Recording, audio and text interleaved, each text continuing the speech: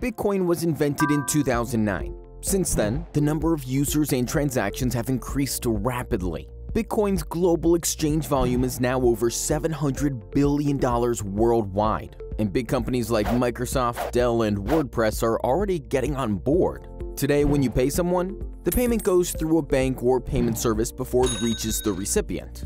Bitcoin removes the need for middlemen, enabling direct person-to-person transactions in a trustless manner. The blockchain technology behind Bitcoin is open, decentralized, and self-regulating, and has given rise to a whole new economy based on cryptocurrencies.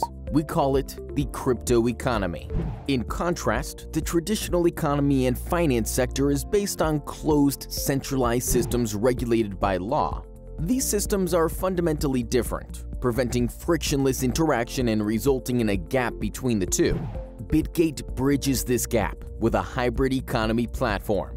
Like Bitcoin, it's based on open blockchain technology, but it also enables centralized elements that allow for parts of the platform to be regulated. This allows Bitgate to achieve regulatory compliance in each jurisdiction around the world.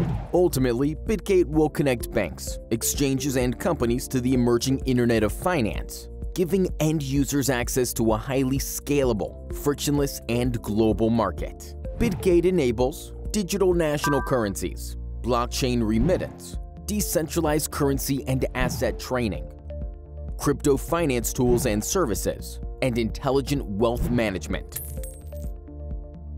Bitgate. Enter crypto finance.